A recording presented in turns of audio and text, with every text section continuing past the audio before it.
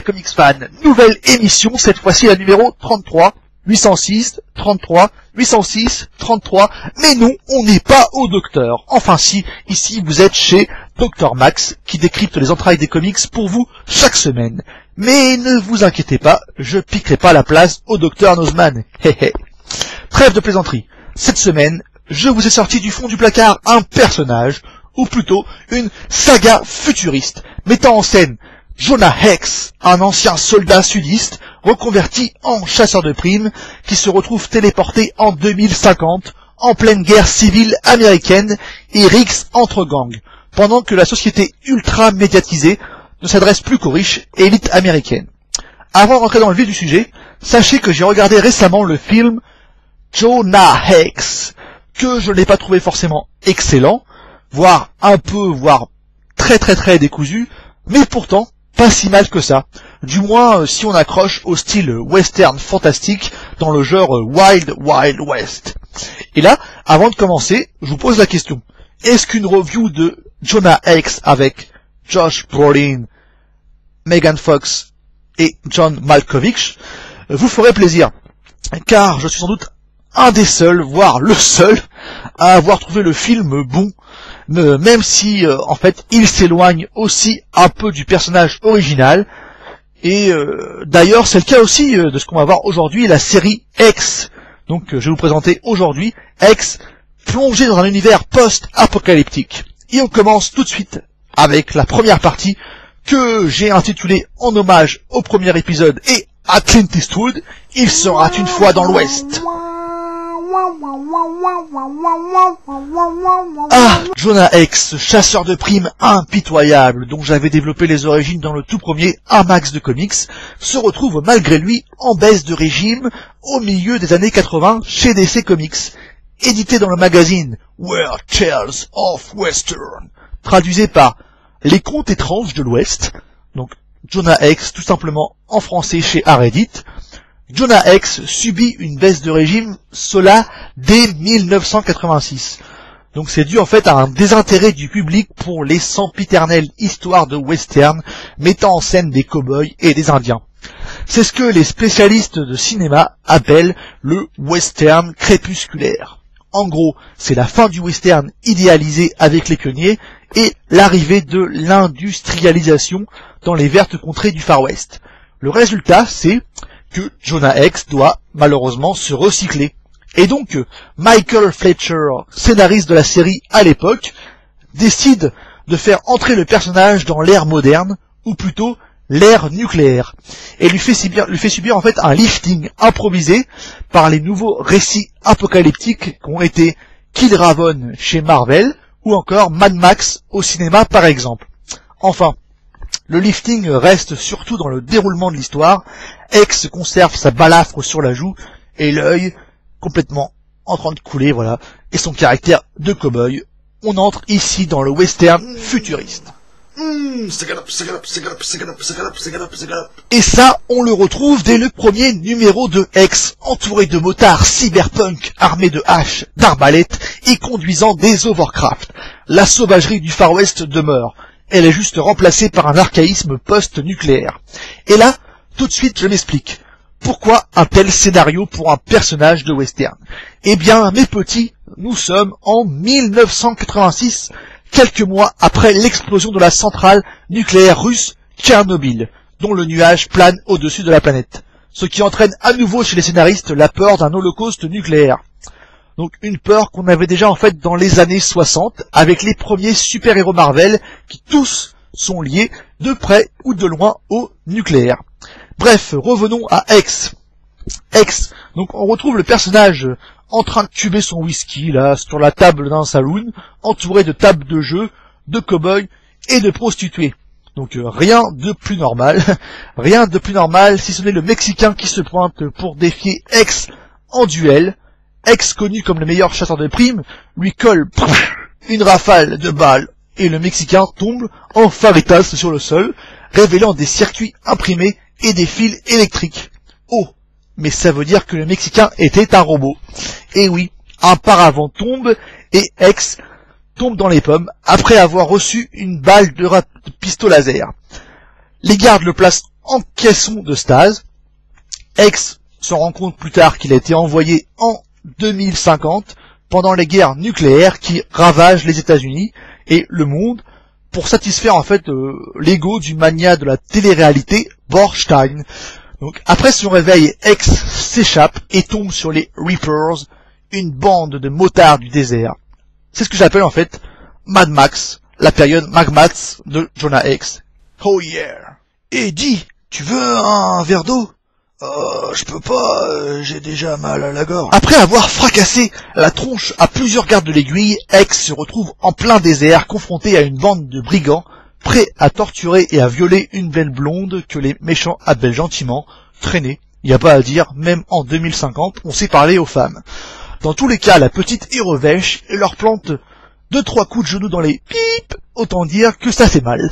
Euh, Jusqu'à ce que X s'en mêle en s'en prenant au bec qui porte un crochet de boucher à la place de la main. La blonde s'appelle Stiletta, c'est une as de la gâchette, mais son poignet est foulé. Oh la pauvre. C'est donc à un X décontenancé de conduire la moto anti-gravitation jusqu'au repère des Reapers, qui sont en train en fait de, bah, eux de se faire un petit barbecue sympa entre potes, là, sauterelle géante grillée au menu les gars. Bref, il rencontre Falcon, le chef des Reapers, dont Stiletta est aussi la petite amie. Voilà. Enfin bon, le mec, euh, il est polygame, hein, donc il aurait pu partager. Donc c'est là que X en apprend un peu plus sur l'époque où il se trouve. Ce n'est pas la guerre de l'essence comme dans les Mad Max, mais la guerre de l'eau potable. En effet, la nuit, ce sont les pluies acides qui ravagent le territoire et rendent les sols désertiques. Il faut donc porter des combinaisons spéciales anti-radiation. Quelques instants après avoir fait la connaissance, le gang des Reapers se fait attaquer par des gardes rouges de Borstein et Falcon s'en prend lui à X avant de finir brûlé par les pluies acides. X lui ayant, retiré sa combinaison et ouais, X est un mec qui ne rigole pas, c'est un voleur de Kawe. Le premier numéro de X se termine lorsque chevauchant sa moto dans le désert, un hélicoptère transportant un groupe de soldats américains se rendant au Vietnam s'écrase devant lui. Donc il y a de quoi se demander, mais putain, c'est quoi ce bordel? Eh bien, je vous explique tout ça dans la partie qui suit, télé-réalité et dimension multiple. X finit par se lier d'amitié avec les soldats et se réfugie dans une ville militaire abandonnée où les rejoint bientôt la pétillante Stiletta, vêtue d'un corset et de lanières de cuir rose. Miam miam. Et c'est en fait dans cet épisode 2, intitulé Piégé dans une autre dimension, que X et ses compagnons se font attaquer par une meute de chiens cyborgs appartenant à la société de l'aiguille de Borstein. On apprend en fait plus sur l'eau polluée. En effet, cela fait des siècles que les États se livrent à des guerres thermonucléaires, asséchant les sols et rendant l'eau inutilisable. Le système économique du dollar a disparu. On parle maintenant de SOMS, de l'argent qui se troque sous forme de capsules contenant de l'iode afin de purifier l'eau avant de la boire. Ce qui est très réaliste en fait. hein. C'est aussi euh, dans cet épisode qu'on apprend que Borstein, le grand chauve, met en place des reconstitutions historiques des grands conflits mondiaux euh, qu'ils appellent en fait les vraies guerres. C'est un patron de grands médias dont le QG l'aiguille garde dans ses sous-sols des combattants de toutes sortes, donc de, toutes les époques, des centurions romains, des soldats impériaux, euh, des apaches, des militaires nazis, enfin tout ce que vous voulez. Et en fait, euh, le personnage n'a rien trouvé de mieux que de louer en fait euh, ses services de guerre euh, reconsti- reconstitués à des dictateurs militaires sans scrupules qui le payent pour assister à des combats et à des guerres en direct. Donc le dernier en date se passe durant la Première Guerre mondiale et oppose les Français aux Boches avec utilisation de gaz moutarde pour rendre la bataille en fait un peu plus monstrueuse. Le scénariste Michael Fleischer peut ainsi à loisir critiquer le traitement de l'information par les médias américains.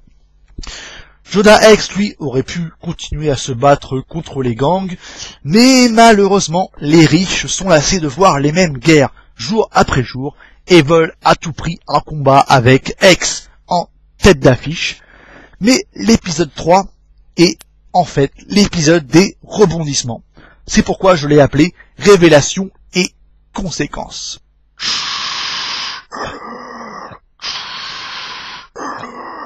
Je suis sa fille. Dans le troisième épisode, Fletcher, aidé par Mark Texera et Ron Wagner au dessin, met en place tout un tas de rebondissements qui donnent envie de suivre la série même aux plus réfractaires. On apprend qu'un nouveau gang existe en dehors des Reapers, ce sont les Vermines, des pillards du désert qui ne rechignent pas à attaquer en embuscade tous ceux qui leur passent sous la main. Donc en, fait c'est pour leur voler leurs sommes, hein, leur, argent.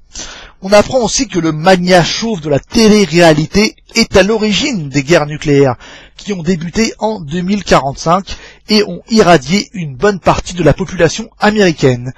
Cela est dû à son implication en tant qu'ingénieur dans le projet Chronos, pour construire une machine à explorer le temps. Bien sûr, on lui a interdit de continuer euh, ses travaux et ses expériences, mais avidement, il est devenu l'instigateur d'une société détruite et mercenarisée. Il la contrôle entièrement en soudoyant les élites locales par leur avidité pour les jeux historiques. Pour cela, il diffuse ses programmes à l'aide de l'aiguille, une immense antenne de télévision. X, lui, se rend compte qu'il a été piégé, et vu le caractère du bonhomme, on se doute que ça va défourailler sévère par la suite. De plus, dernier rebondissement de cet épisode 3, X apprend que Stiletta n'est autre que la fille de Borstein. Et là, on se demande si cette nana ne cache pas un double jeu. Est-elle envoyée par son père pour séduire X ou au contraire fait-elle vraiment partie des rebelles comme elle lui indique en fin d'épisode? Moi, je parie qu'elle cache bien son jeu. Et pour cela, mes cocos, il faudra vous lire les 13 numéros parus en 10 numéros chez Aredit au sein de la série X.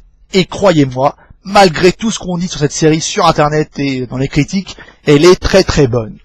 Donc euh, si on comprend déjà en fait ce qu'a voulu y introduire Fletcher, c'est-à-dire en fait une critique des médias, une critique des médias, mais aussi une critique euh, des élites, une critique euh, de l'industrie nucléaire. Et donc voilà, je vous montre ce qu'il pour la fin, pour montrer un peu à quoi il ressemble, cuir et tout ça, la classe. Bref, Malgré ça, en fait, cette série n'a pas, n'a jamais été rééditée en, français.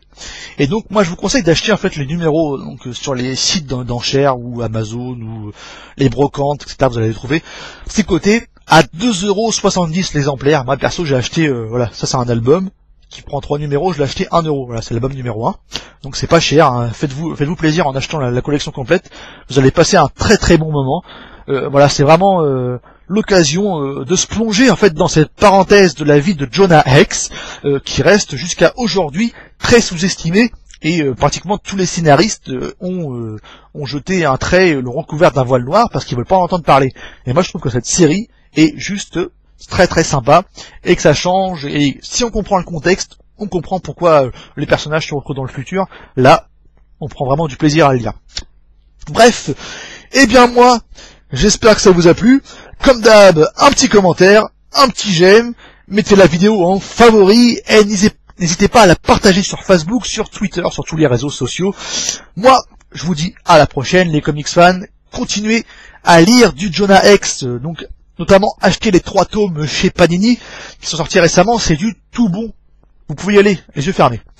Moi, je vous conseille de lire aussi bah, les Jonah X chez Reddit, hein, pour ceux-là qui veulent en savoir plus, notamment sur les origines, les X période futuriste, et bien sûr, euh, dites-moi si vous voulez une émission spéciale Jonah X, le film, que moi, personnellement, j'ai trouvé très bon.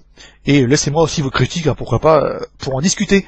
Allez, ciao ciao les comics fans, à la prochaine, ciao.